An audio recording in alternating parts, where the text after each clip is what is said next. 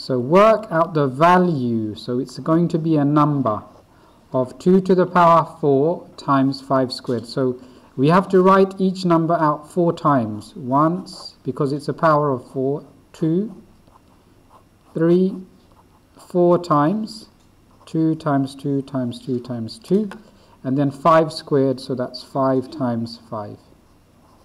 2 times 2 is 4, times 2 is 8, times 2 is 16. So we've got 16 here, times 5 times 5 is 25. So that's the working out. So I'm going to use my Gelosia method. So I'm going to put here 16.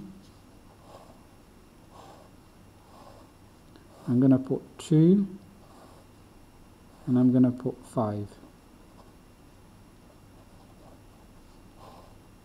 And I'm going to be multiplying them. So I'm going to do diagonals now.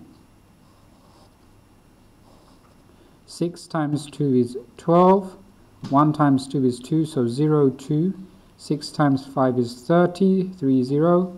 1 times 5 is 5, so 0, 5. And then I add diagonally 0, 2, 2 plus 3 is 5, plus 5 is 10, so 0, carry the 1, 1 plus 2 is 3, plus 1 is 4, and then uh, 0 there. So my number here is uh, 400.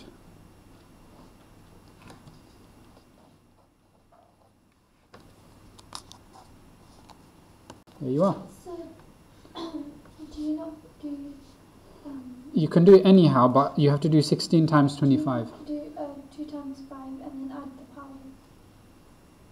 No, because this the base is different. You know the base. Can you see in the box it's 2 and in this box it's 5. Yeah, they're, they're different bases. Uh, let me let me highlight that on the video. It's- Oh, it's still recording. I pressed the wrong button. Okay.